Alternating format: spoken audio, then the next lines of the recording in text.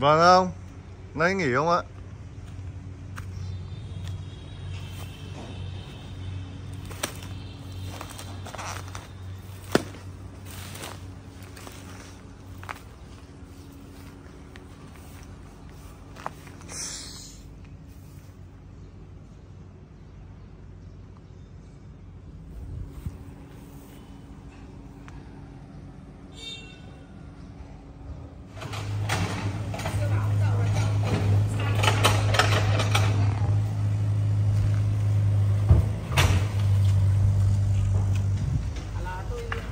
Đấy nhá, xong rồi rỗ bên này lại được mấy mâm? Hả? Chiều đây là xong rồi. Chiều.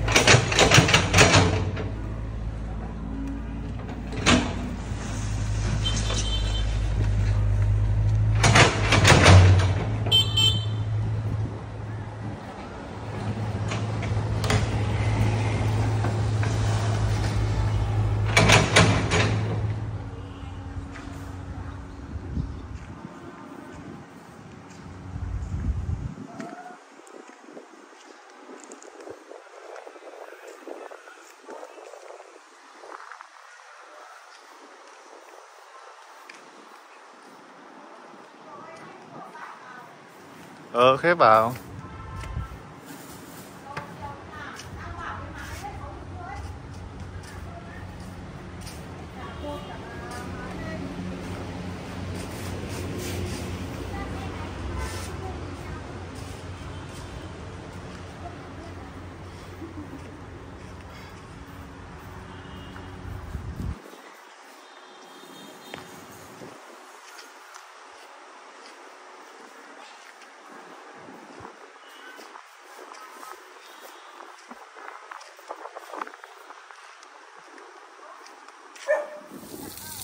Xuân ai mà đẹp thế?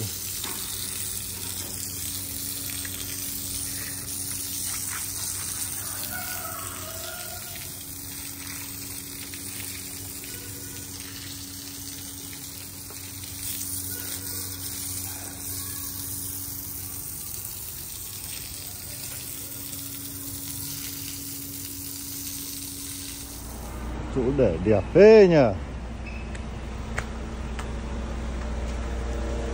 có vườn hoa nữa. công trình vườn hoa của bác Thùy